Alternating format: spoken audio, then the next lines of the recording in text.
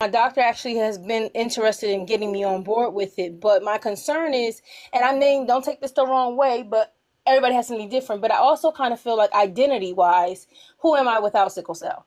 Because it's all I've known my whole entire life. Um, and I think it's it's it's interesting what you said about having the cure as well, and that that changing your identity. Because I've heard from quite a few people that kind of like, you know, who who am I without sickle cell? It's such a massive part of your identity. It's like how you've grown up and how you've lived your life for for so long um, that it's almost quite scary to think about what life would be like without it because it's stepping into this unknown kind of universe um, and you, you, you wouldn't you, you, might not know what to do with yourself um, so I think there's I think there's lots of different perspectives that people have. That's one of them